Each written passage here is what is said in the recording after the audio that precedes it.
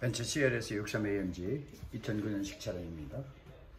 30패럿 하이브리드 파워캡을 장착한 후 동영상을 촬영하고 있습니다. 하이브리드 파워캡은 장착하자마자 사운드가 좋아지는 건 기본이고 차량의 모든 전기가 고급져짐으로 인하여 엔진 스타트도 빨라지고 악셀도 부드러워지며 모든 응답이 빨라지기 때문에 기름도 덜 먹을 정도로 모든 전기가 고급져진다 말씀드릴 수 있습니다. CLS 63AMG 2009년식 차량이었습니다. 감사합니다.